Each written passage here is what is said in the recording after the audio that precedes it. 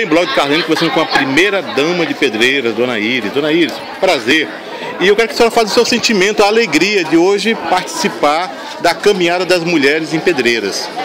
Carlinhos, para mim é uma grande alegria, satisfação de estar aqui hoje junto com essas mulheres, porque sem ela também, né, conto com a ajuda de todas elas para recepcionar a Paulinha Lobão, da primeira dama do Estado, assim também como a Rosana Sarney, nesta para fazer bonito, porque as mulheres fazem bonito. Tá certo. Um dia de valorizar as mulheres. Um dia de valorizar as mulheres, né? Então estamos aqui para contar né, nesse dia especial né, da vida da Paulinha Lobão, da Rosana Sarney. Estamos aqui junto com essas mulheres para nos valorizar, para valorizar todas essas mulheres.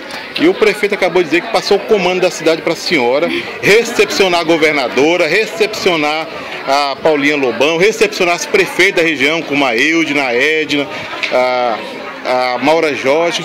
Então a responsabilidade é grande. É grande, mas estamos aí preparando um almoço né, para essas mulheres, preparando uma festa, preparando uma caminhada e à noite uma, um grande comício com essas mulheres. Tá bom.